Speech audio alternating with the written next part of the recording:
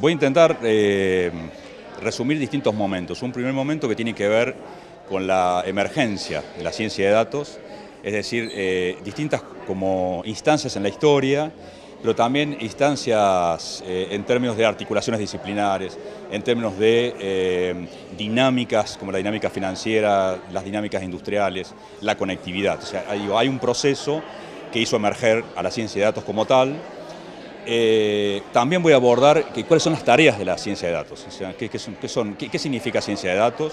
Pues un término muy ambiguo, muy general, o sea, por momentos significa grandes datos, por momentos significa eh, minería de datos, eh, y también voy a, trabajar la articulación de la ciencia de datos esencialmente entre una tríada que es matemática y la estadística matemática al interior de la matemática, el análisis de datos como estadística en un sentido amplio y la computación. Y también su necesaria articulación con las otras ciencias. hay que pensar que la ciencia de datos surge en articulando esta tríada, pero con problemáticas que provienen de otras ciencias y además de otros campos como el campo industrial, por ejemplo.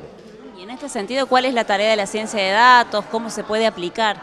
Bueno, la, tarea de la ciencia de datos eh, a ver, puede colaborar con eh, aportar conocimientos a los nuevos desafíos que el campo científico-tecnológico viene planteando desde hace años en términos de complejidad. O sea, los objetos de la ciencia de datos son objetos complejos.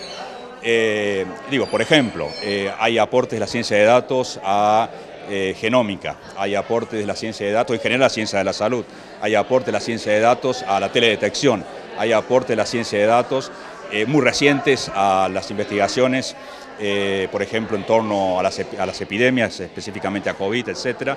Eh, hay aportes a, procesos industriales, hay aportes a, la lingüística. uno de los motivos eh, primeros de surgimiento, por así decirlo, de la ciencia de datos tuvo que ver con el problema de la traducción automática y me parece que bueno, puede convertirse en una agenda importante en general para la Universidad Argentina poder generar espacios, ya sea o al interior de las carreras existentes o generar también espacios de formación como carreras en ciencia de datos, tanto en el grado como en el posgrado. Me parece que es un desafío. En otros países del mundo eh, ya hay una historia construida en torno a la enseñanza.